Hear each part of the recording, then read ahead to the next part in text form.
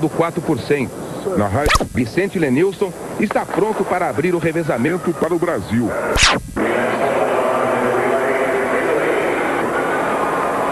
100 metros depois, ele passa o bastão para o Edson Luciano.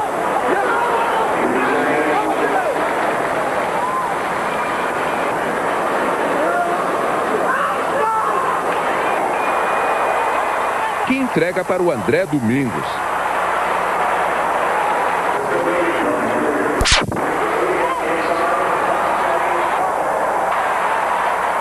Agora é a vez do Cláudio Roberto fechar a prova. O resultado dessa combinação entre velocidade e entrosamento deu ao Brasil primeiro lugar com 38 segundos e 32 centésimos.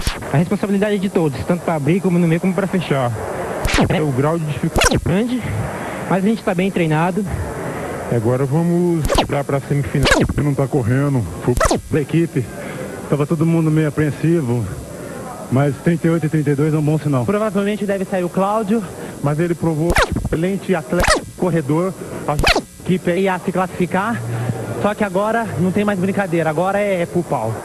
O conquistado era o melhor da manhã, até os norte-americanos correrem a última série.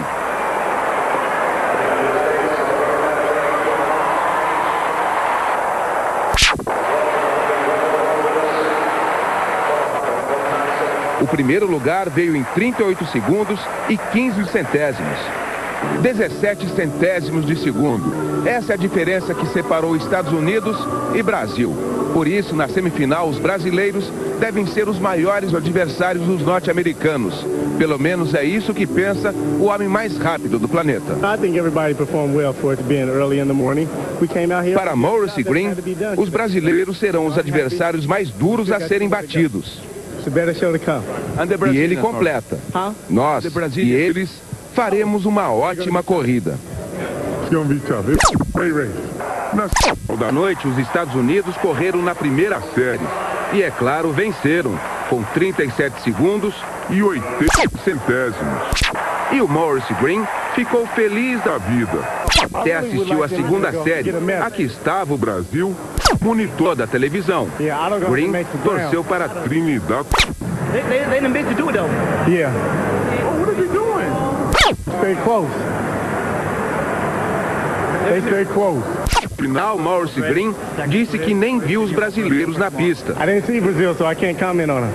Mas o quarteto brasileiro estava lá, sim, e com o Claudinei Quirino para fechar o revezamento.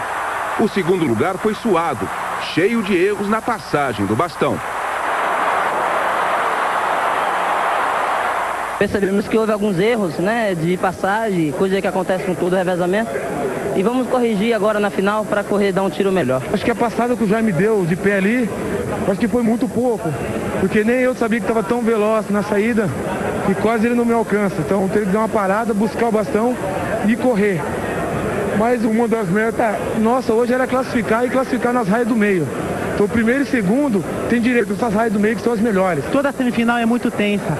Agora na, na, final a gente vai correr mais tranquilo. Vamos conversar com o Jaime, que é o nosso técnico. A gente vai assistir o vídeo, vamos ver onde que a gente errou e mentalizar isso para tentar consertar amanhã para a final.